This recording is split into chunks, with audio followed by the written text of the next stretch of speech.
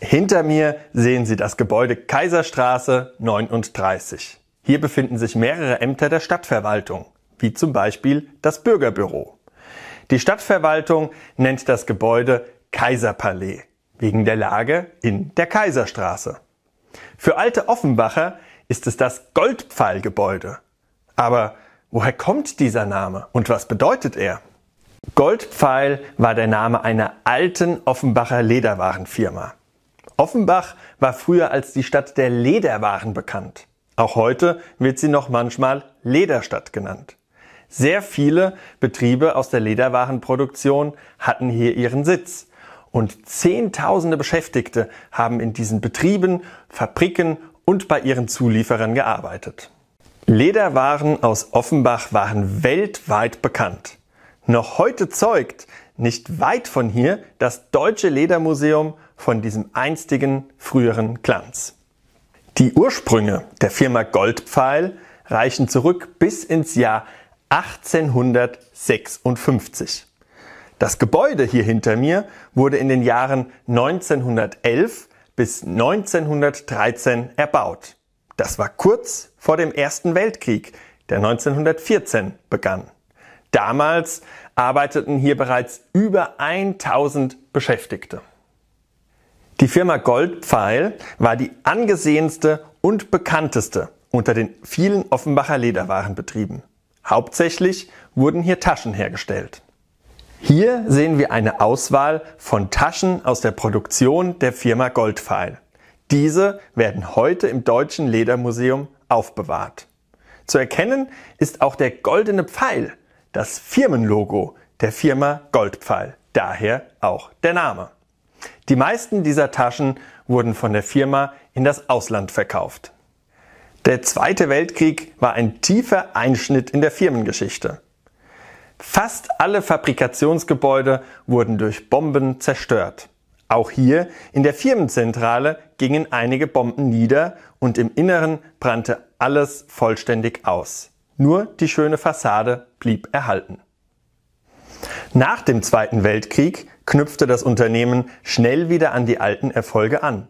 1948 war das Firmengebäude wieder aufgebaut.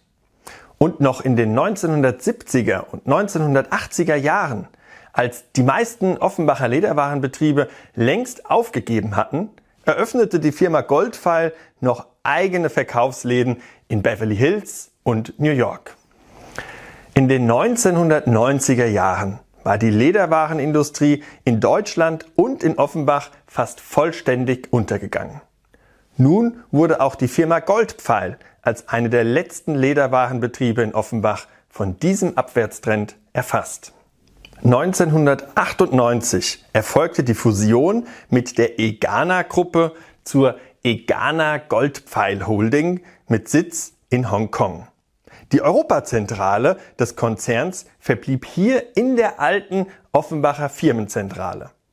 Aber nur zehn Jahre später musste Egana Goldpfeil für sein Europageschäft Insolvenz anmelden. Und bis 2009 wurde die Firma vollständig abgewickelt.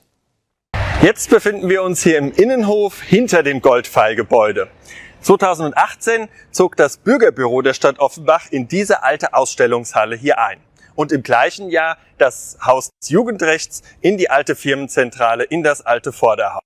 In den folgenden Jahren zogen dann auch noch das ähm, Umweltamt, das Stadtschulamt und äh, Teile des Sozialamtes und hier unten im Erdgeschoss das Servicebüro der Energieversorgung in das alte Goldfallgebäude ein. Für weitere Informationen zu diesen Einrichtungen klicken Sie einfach auf die Links hier unten in der Videobeschreibung. Möchten Sie mehr erfahren über die Firma Goldpfeil oder die Offenbacher Lederwarenindustrie? Dann schauen Sie auf der Homepage der Stadt Offenbach. Dort haben wir viele Informationen für Sie eingestellt. Ans Herz legen möchte ich Ihnen auch einen Besuch im Deutschen Ledermuseum hier in Offenbach. Viele spannende Orte aus Offenbach und der ganzen Region zu unserer industriellen Vergangenheit finden Sie entlang der Route der Industriekultur.